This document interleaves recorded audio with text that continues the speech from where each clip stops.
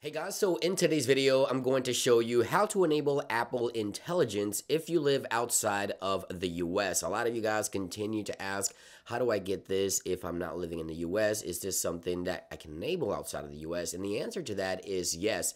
So in today's video, I'm going to show you how to enable basically Apple Intelligence anywhere around the world. I think it excludes the EU and China, but just keep in mind that those regions do have those restrictions. But other than that, this should work basically anywhere across the world, excluding those regions. Now, to be honest, I've been loving Apple Intelligence. It's been more than I thought it would be in the way I interact with my device, the way it works, and let me show you how simple it is to enable Apple Intelligence in your region. So the first thing you want to do is obviously you want to make sure that you're running iOS 18.1 developer beta, which is currently out. It also works on iPad OS 18.1 and Mac OS Sequoia 15.1 as well. These are all beta softwares as of the filming of this video and I'll link down below so that you can go ahead and sign up for the developer or public beta program if you haven't already.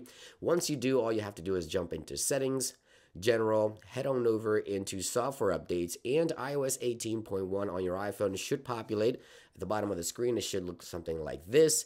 Once you update to iOS 18.1 developer beta, what you want to do is you want to jump into settings and change the language. So let's go into settings. Let's jump into general. And then you want to go all the way to the bottom here, go into language and region. And right here, you want to select right there where it says language, you want to make sure you select English for your primary language. So go into the list and type in English and make sure you select English US for the language and the region, you do have to set it to United States. So make sure you select those two options as you see it right here and then you want to go backwards into your Apple Intelligence section right here.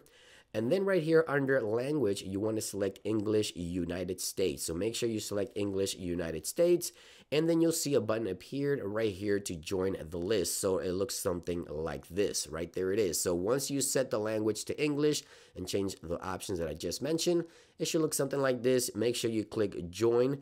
And once you click join, it will take maybe approximately two to three minutes at least. For me, it took, I don't know, five minutes at the most on my devices. And then you can enable Apple Intelligence. And this obviously only works on devices like the iPhone 15 Pro, 15 Pro Max, M1 iPads and Macs or later. Just keep in mind that you do have to have a compatible Apple Intelligence device in order for this to work for you, obviously. So there you guys have it. I just wanted to show you how to enable Apple Intelligence anywhere across the world, obviously excluding China and the EU. There you guys have it. Thank you for watching. Let me know if it worked for you. Hope you guys have a great day, and I'll see you guys on the next one. Peace.